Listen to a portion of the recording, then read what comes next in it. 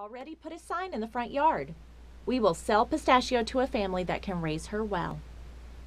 The twins began to cry, stamp their feet, and beg their parents. But this does not change the decision. We need to save her, Lucy said, weeping. You're right, Luke replies. We should go with her.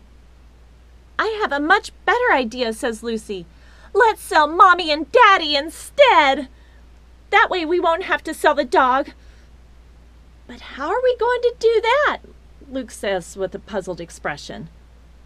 We replace the sign, says Lucy, happy with her brilliant idea.